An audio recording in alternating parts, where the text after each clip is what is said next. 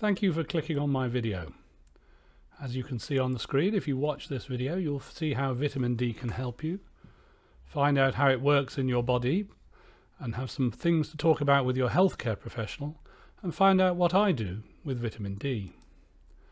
Now, it's very important to note that I am not medically qualified. I have a degree in physics but not medicine. I have been a member of parliament and you may ask what's a politician or ex-politician doing talking about vitamins. I am in fact a tech entrepreneur and a musician, which doesn't qualify me to give any any advice on medicine, and I'm not a doctor and this is not a medical advice.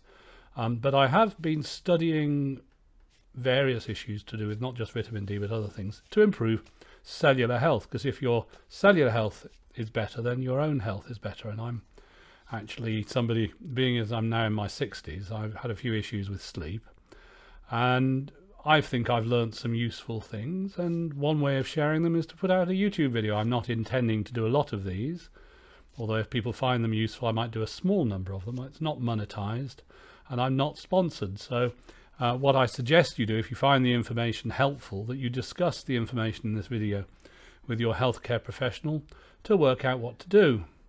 Now vitamin D is essential for good health. I don't think there's any doubt about that and there's um, a very good report by a panel which looked at um, vitamin D which said the panel concludes the cause and effect relationship has been established between the dietary intake of vitamin D and contribution to the normal function of the immune system and healthy inflammatory response and maintenance of a normal muscle function. I've put the link here and in fact at the end of the video I've got all the links and I will put them in the comments as well so you can read them. And uh, another one, vitamin D receptor, is expressed in most human tissues and has more than a thousand target genes. So if we if we look at this particular thing here, which looks at vitamin D3, um, and we can see that there are a thousand genes that respond to vitamin D. So there are things that won't happen if you don't have vitamin D. Um, now, I think people know more generally that vitamin D can be created from exposing the skin to ultraviolet light. Um, and you can use an ultraviolet lamp to achieve the same thing if it's the right wavelength. Uh, but if you're in a country away from the equator, you're unlikely that you're going to get enough vitamin D. And particularly during the winter, but also potentially during the summer. So people with darker skins also generate less vitamin D, so they need to take more vitamin D often. And that's because the UV is absorbed in the skin by the melanin. And you, vitamin D doses are measured in international units, IU, and IU is 40 micrograms of vitamin D. Now, there is a factoid that people often get wrong about vitamin D, and the, the wrong factoid is that, that you can't take too much. In fact, you can take too much vitamin D, and actually, as with many supplements, it's best to tell your healthcare professional if you're taking it so that they can take that into account. But it is difficult to take too much and as a consequence um, there, there tends to be more of an issue if people have kidney disease and I'll explain why that is in a little bit. And if you if you look on the internet you can find cases. Here's one I guess good could be dangerous where you have uh, hypercalcemia due to hypervitaminosis D well hyper meaning more of over. So you have too much calcium because you've got too much vitamin D. Um, but that does some people are more susceptible to this than others, and it's an issue to discuss with a healthcare professional. But here we have a case of 15 patients, most of whom were elderly, um, who got over uh, too much calcium because they took too much vitamin D. So it's not something just to, to ignore. And the people who say you can't take too much, actually, that's wrong. Um, but what you need to understand if you want to really get into um, how vitamin D operates. And we'll ignore vitamin D2. Vitamin D3 is the one that's generated by human beings. And it starts either, um, whether it's taken by a supplement or obtained from ultraviolet sunlight, as what's called cholecalciferol, which is has 27 carbons, 44 hydrogen, and an oxygen. And that then is converted by the liver to calcifediol, which is, again, 27 carbons, 44 hydrogens and two oxygens. It's, it's often known as 25-OHD because it's um, hydroxide form. It's add, added, um, a, added a, an OH to it, basically. And this stays in your body until the kidneys need to convert it. And the important point is that actually the kidneys can convert it to two different things.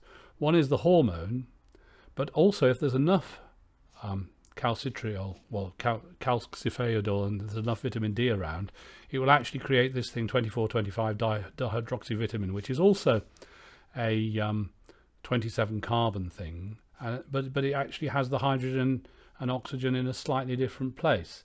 Uh, and we, the on PubMed, the, there's some very useful pages which explain about the different chemicals, um, cholecalciferol, or different molecules, uh, calcifediol, diol, um, calcitriol, which is the normal hormone, and what I would call the fourth molecule. And the important thing about this is there is a fourth molecule that can be created from vitamin D, and that one is, if it comes up, here we go, 24-25 dihydroxyvitamin D. Um, now, in fact, we can see what these things look like, and here we have an example of vitamin D, and vitamin D has this sort of oxygen over here. Uh, can I get it to point at oxygen somehow or other? Yes, that's that's an oxygen there. So you see all these carbon um, connected to hydrogen um, atoms, and then we have um, the the oxygen. We can actually move it around a little bit, which is quite clever. Um, but that that that's vitamin D. Now, this is the first metabolite, 25-OHD, and as you can see, it's got its two oxygens with a with a hydrogen, two hydroxy groups on the end of it, which makes it different to vitamin D. And this is the active form, what's known sometimes as the hormone, uh, calcitriol. And that has um, three, as you can see, three OH attached to carbons rather than just H attached to carbon. But if there is enough 25-OHD, we then get this one, which is the 24-25 uh, one. As you can see, the OHs are actually in a, a slightly different place, as in compared to um, calcitriol. Uh, and that, that makes all the difference. Obviously, it's a different molecule. It does different things. We then have a debate about how much vitamin D people should take. And uh, ignoring that from the sun for the moment, um, there are, the UK government says it should be 4,400 IU a day. The German government say 800 IU a day. And there's a wide range of other views. And we also need to consider the fourth molecule, this 2425 molecule. And there are differing views as to what the impact of that particular molecule is. So if we look it up on Wikipedia, for instance, and I wouldn't say Wikipedia is necessarily the font of all wisdom, but it's very good as a source, we see that um, it says that perhaps it's just there to get rid of vitamin D. Alternatively, it's not known whether it has any physiologically significant, significant activity. Um, and then we move on to um, what, what it says actually on the Human Metabolome Database, which is another useful source of information about various um, molecules that, that you may or may not have inside your body. Um, and over here, we have it says through the past decades, data have accumulated that this particular fourth molecule is not merely a degradation product, but also has effects on its own. And this is um, one of the interesting things about developing science, particularly to do with um, such things as supplements, etc. That as science moves on, we learn more things, and we have to relearn things that we didn't know previously. And one of the most important things, for instance, is how much vitamin D should you have?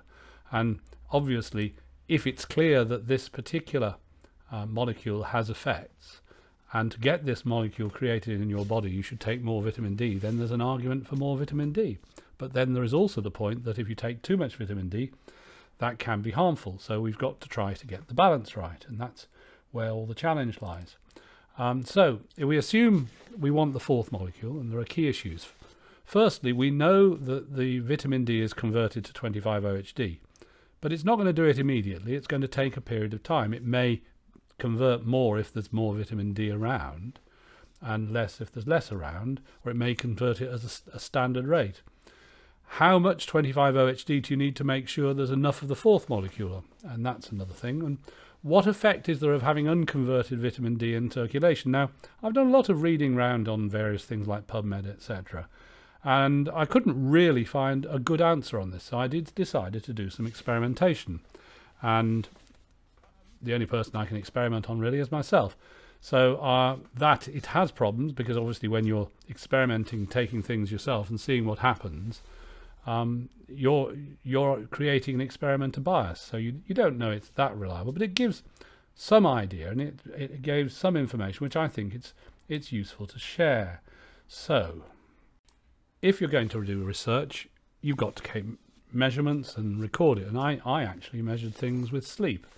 And although I started taking vitamin D to get rid of psoriasis, which it did, I found it also helped with sleep. So I used a Fitbit to record how well I slept. Now, the, the medics don't like Fitbits. They say they're not very reliable. And to some extent, that's true. There are polysomnographs, which are much more reliable, but they're more invasive generally, and you have to go to a sleep laboratory. And actually, you can use a Fitbit every night or during the day, and you can keep notes on your mobile phone, which is quite a good way of doing things.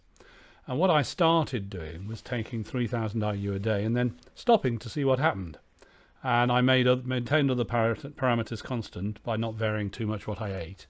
And um, also keeping other supplements constant because if you change lots of different things, you don't know what the impact is. And what I found was that actually when I stopped taking vitamin D, initially my sleep would improve, but then after a few days, as, as it ran down, uh, the 25OD ran down, of course, it deteriorated. Then I tried uh, a more interesting experiment, taking a larger quantity of vitamin D. And it was quite clear that vitamin D, I can convert almost 3,000 IU a day um, in a day. And then if, if I took like 24,000, it would disrupt sleep for about three nights, and then you'd have better sleep for a while. And then after a period of time, you, you'd start aching a bit and your sleep would deteriorate. I take that as indicating either an optimal level of 25-OHD for calcitriol, or indeed an optimal level of 25-OHD for um, producing the fourth molecule, the 24-25 one. Um, uh, and that that's actually useful information. Um, and I think, from my point of view, it gives me a working hypothesis. Now, one of the other issues about vitamin D is actually the, the more fat you've got, the more vitamin D you need. Now, I, during the process of doing this experimentation, I've lost a lot of weight, um, which almost certainly reduced the need for vitamin D, but I'm doing lots of other experimentation, which I may report on if people find it interesting. Um, but it does also show that vitamin D, if you want to take it, should take in the morning, because then your body's got more time to process it, and so by the time you've it to bed, it's it's converted mainly to, or we don't know what proportion, to 25 OHD. Obviously, it's possible to measure these things because you can sample the blood and see what the levels of 25 OHD were. But this will vary from person to person because people, different people have different needs. Um, and it can't say that my figure of 3,000 is reliable for anyone else, but it does indicate that the government's 400 is pretty useless, and even for the German proposal of 800 IU is pretty useless as well. Um, but I would suggest that it's it's something you could look at with your healthcare professional and see whether they think it's worth just trying to do some re- keep some records of what impact it has on you and, and experiment with various levels. Uh, but it is important that that's done with a healthcare professional advising uh, and remembering as an ex-politician, musician, tech entrepreneur, I'm not the person to give medical advice, but I thought this would be some useful information. If you think it's useful and people say, yes, it's useful, please do another video on something else, then I will do so. And if people don't find it useful, then I won't do any more. Quite happy with that? No problem.